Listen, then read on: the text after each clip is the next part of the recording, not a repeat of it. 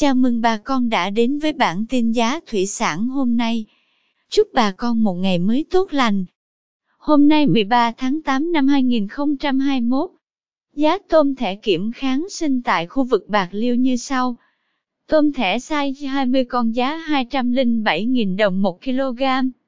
Size 25 con lớn có giá 152.000 đồng. Size 25 con nhỏ giá 147.000 đồng 1 kg.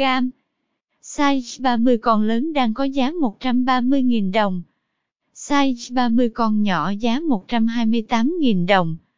Size 40 con có giá 110.000 đồng 1 kg. Tôm thẻ size 50 con đang thu mua với giá 95.000 đồng 1 kg. Về chi tiết giá cá, giá ếch, giá tôm thẻ, giá tôm sú hôm nay mời quý bà con tiếp tục theo dõi liên kết tại phần bình luận của bản tin nhé. Cảm ơn quý bà con đã theo dõi bản tin giá thủy sản hôm nay. Nếu thấy nội dung hữu ích, xin vui lòng nhấn subscribe kênh để không bỏ lỡ bản tin mới nhất nhé. Chúc bà con một ngày mới tràn đầy năng lượng cho một vụ mùa bội thu.